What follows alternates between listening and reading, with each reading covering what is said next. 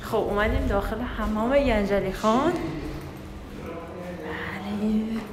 این نهاد ترابرز رو ببینیم.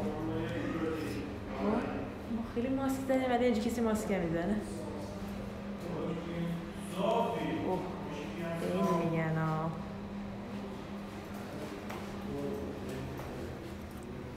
من خیلی از این آدم ها میترسم. همش فکر می‌کنم حالا توشون یکی در میاد. این حمام قدیمی بوده مال دوران صفویه بوده بازسازی شده. این مجسمه ها یه جور نمادینه نشون میده که در زمان قدیم خب چجوری زندگی می‌کردن.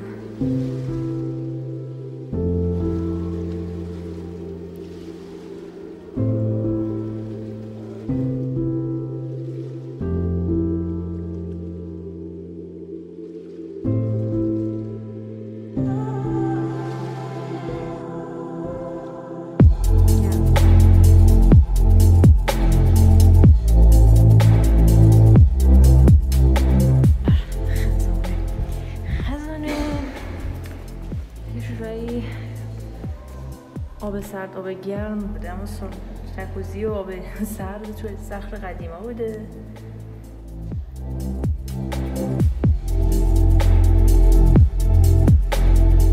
آقا این ته آبه چرا پول داره؟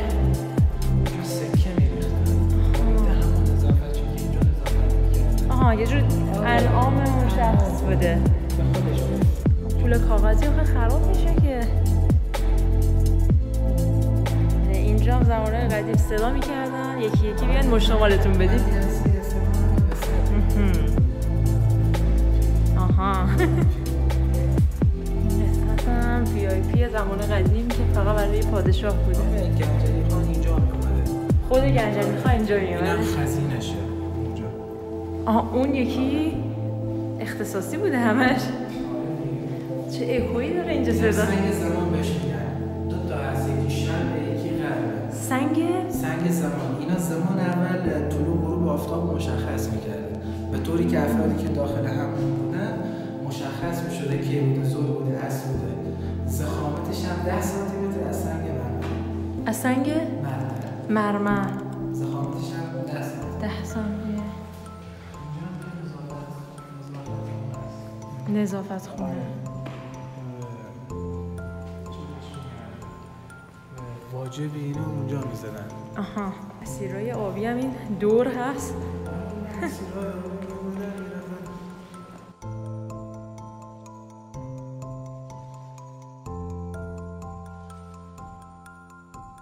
این قسمتی که من الان وایستادم قسمت مرکزیه که صدا کاملا اکو میشه. یک. صدا قشنگ بالاست اینجا. اینم از حمام گنجلی خان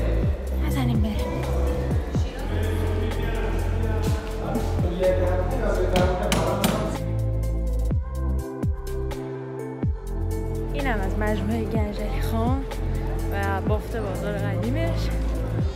بریم ببینیم پیدا می‌کنیم تپسی چیزی بریم سمت باغ شازده.